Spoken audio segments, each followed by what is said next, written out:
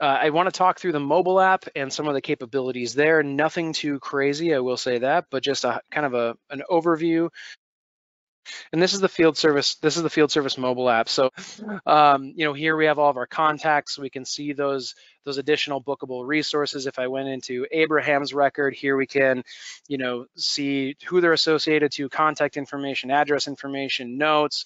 Um, so we, you know, the, the mobile app is, is quite snappy. We have, you know, filtering on the fly uh, per contact and per view. Um, now, if I go to the normal, uh, the normal view of work orders. Don't know that any are assigned to my uh, my bookable resource that I'm logged in with exclusively. But here's where we can, even as a field technician, if I needed to create a new work order, this is where I can start. Um, I, you know, I can I can actually enter that. So who's the service account? So we'll just go with, um, oh, I don't know, a datum works just fine this is on schedule, but you know, say I'm on site and we actually need to track this. This is where we can say, you know, once we have this saved, that it's actually in flight. It, it's you know, it's being worked on. Uh, here's where we can set the sub status. So um, ready for dispatch. What is the priority? Critical. That's a, these are some of the the data points that we've already talked through. Um, but once I have this record saved uh, and set the work order type, you can see that the required fields are going to be highlighted in red.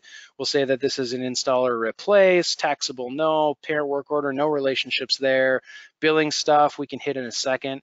But once I, I click save here, now we have our work order saved and this is actually going back into the system. So, so we'll see this work order generated within Dynamics 365 field service in the full application.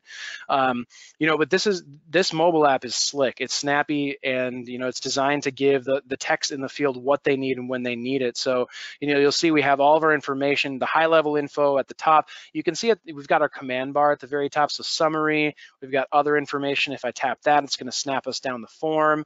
Uh, if we go to address, it's going to keep snapping us down the form. And these actually are collapsible sections. So if I if I tap any of these, we're going to have those uh, kind of hug up to the the one up top.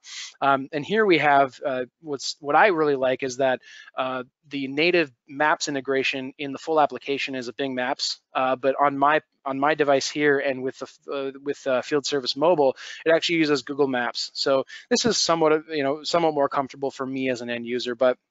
What's cool is right from here, I can go and get directions. Uh, you see in the top right with a little arrow icon, um, down below, we have incidents, service tasks, products, you know, so this is where uh, you, the system will flesh these out based on incident type for us, notes, activities, bookings, and then here we have e-signature. So, you know, this is um, being able to sign off on, on work orders.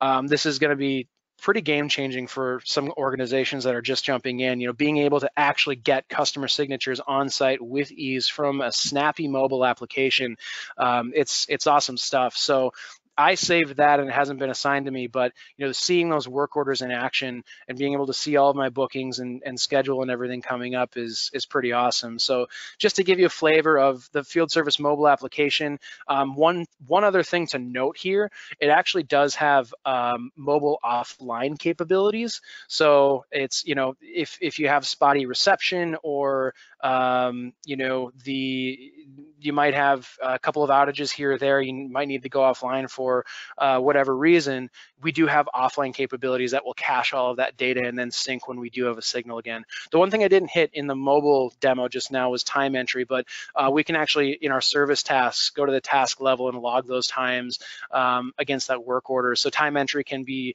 executed uh, or is often executed from you know the mobile application